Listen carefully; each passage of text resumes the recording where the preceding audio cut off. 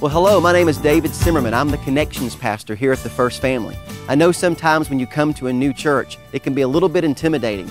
So, what I want to do today is kind of walk you through a typical experience here at the First Family on a Sunday morning. We're going to start here in the parking lot where guest parking is found. It's really easy to find. If you have to park far away, we've got golf carts to pick you up, and we also have valet parking for senior adults. So, come on in.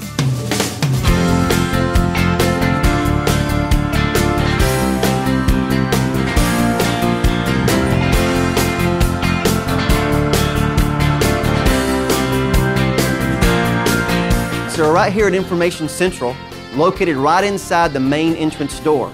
And if you're a first-time guest, second-time guest, or whether you've been here for years, this is the place you found out all the information about the First Family.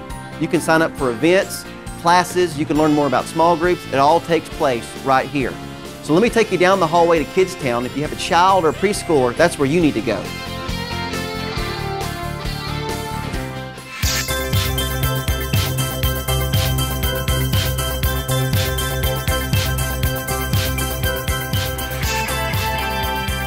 All right, so here we are in Kidstown.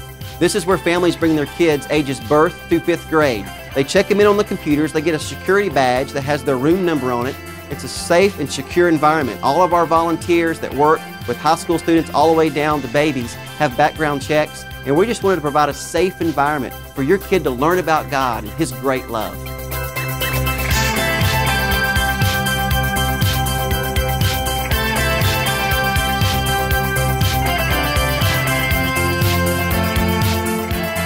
Okay, so we're walking toward the Student Ministry Center. If you have a high school or middle school student, or if you are a high school or middle school student, you don't want to miss Sundays here at the First Family.